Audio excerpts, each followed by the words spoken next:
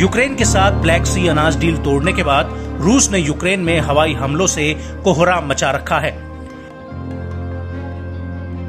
Ukraine की राजधानी Kyiv और अन्य शहरों में दिन ढलने के बाद ऐसा लगता है कि कब और कहाँ अगले ही पल रूसी मिसाइल आकर गिर पड़े। और यही वजह है कि यूक्रेन के तमाम शहर हवाई हमलों के डरावने सायरनों की आवाज़ से गूंज रहे हैं। और अब इसी कड़ी में रूस ने यूक्रेन के पश्चिमी इलाके के लवीव और उत्तर पश्चिमी इलाके के वॉलिन शहर पर ताबड़तोड़ बमबारी की है। इन इलाकों में लगातार आसमान से रूसी मिसाइलें कहर बरपा रही हैं।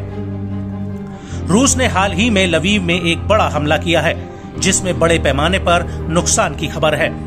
दरअसल रूस ने लवीव पर जो मिसाइल दागी थी, वो एक इमारत पर आ गिरी, जिसमें कई लोग घायल हुए हैं।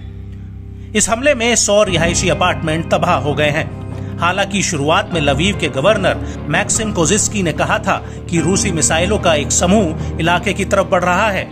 इसके अलावा लवीव के लुस शहर में रूस के हवाई हमलों में कम से कम दो लोग घायल हुए हैं। ये इलाका भी वोलिन रीजन में आता है, जो पोलैंड बॉर्डर के बिल्कुल पास है। वहीं यूक्रेन के दक्षिण पश्चिम में नीपो पेट्रोक्स में रूसी हमले में कम से कम एक व्यक्ति घायल हुआ है।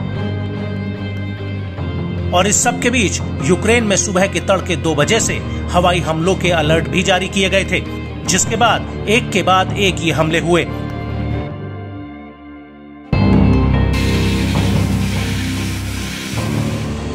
इसके अलावा यूक्रेन के पश्चिमी ख्वेलेंस्की में भी धमाकों की आवाज़ें सुनाई दी हैं। स्थानीय सैन्य प्रशासन ने भी धमाकों की पुष्टि की है आपको यहाँ पर यह बताना ज़रूरी होगा, जुलाई 2023 तक लवीव शहर ज़्यादातर रूसी हमलों से बचा रहा था।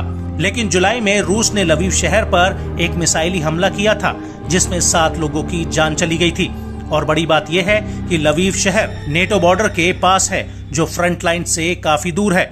लेकिन लवीव शहर पर मंगलवार की रात जो हमला हुआ, वो यूक्रेन युद्ध शुरू होने के बाद अभी तक का सबसे बड़ा हवाई हमला था।